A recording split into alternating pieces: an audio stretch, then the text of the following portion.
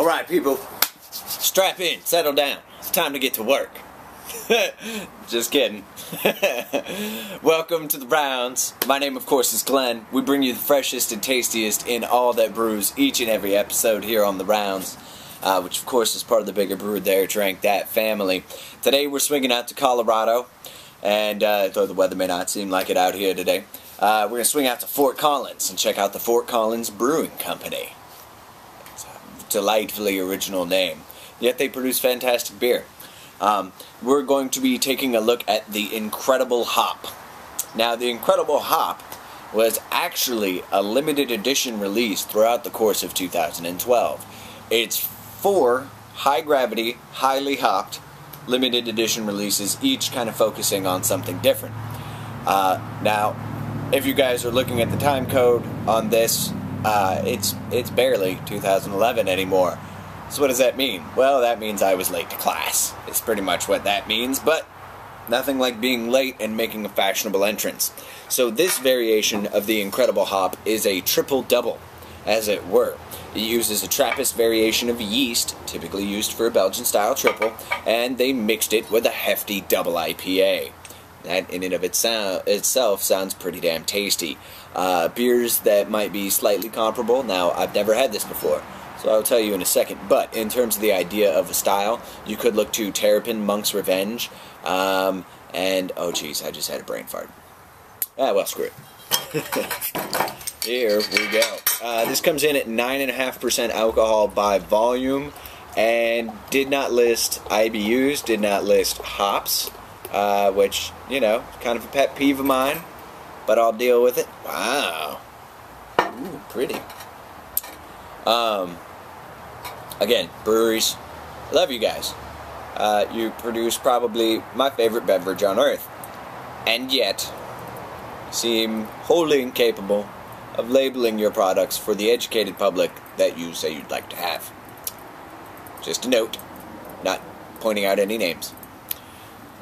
Fantastic golden hue.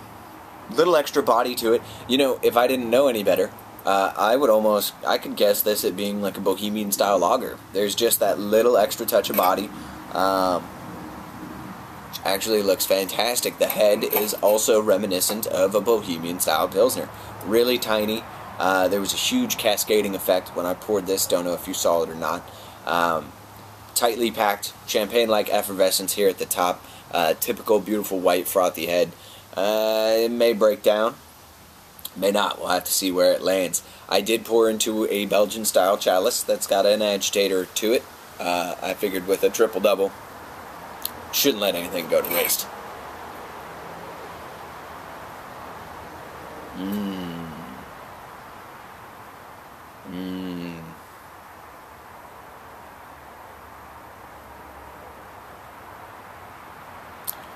Now, if I can say this without sounding generic, I smell hops. I smell hops at the end. I smell malt, yeast. It's almost like being able to smell all four ingredients without ever having to taste it. Which is actually very, very interesting. There's a spice note from the yeast that presents with malt sweetness at the beginning.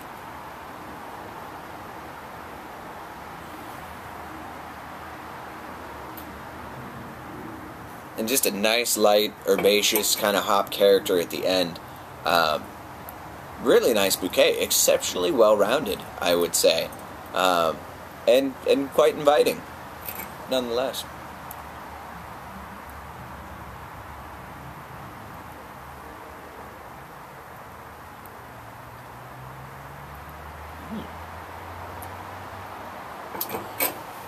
That is damn tasty. That is quite damn tasty. Um, really well done. I I wouldn't have guessed it for a double IPA that had been mixed. Um, the the hop character is not in any way overpowering or caustic. So if you have friends who are anti hop and yet pro Belgian, this will work perfectly for them. Um, that's going to pair well with a wide variety of food as well.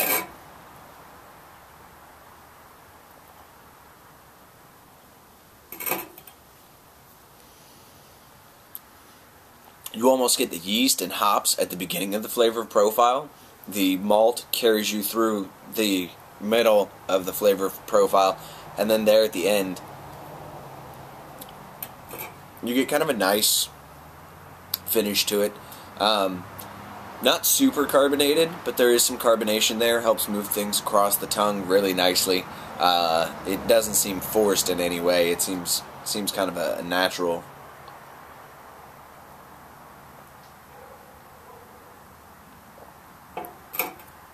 That's really nice. Um, super drinkable. Very, very classy. Classy is the word. Um, but bang on, Fort Collins, man, you guys killed it with this one. Now I'm gonna have to hit up some of my friends, potentially my viewers, and see if I can't come up on the other three of the Incredible Hop. Hmm. That being said, guys, uh, I would get out there and scoop this up. Lord knows how short it'll be around. Um, oh, uh, reference to the Monk's Revenge. Similar, similar, um, and yet both it, flavor profiles are independent enough that um, I might serve them as a flight if I can remember that third one that I was going to tell you about. But anyway, here's to it, people. It's been another edition of the rounds. I'm going to stay here and finish working. I will see you over our next pint. Have a good one, guys.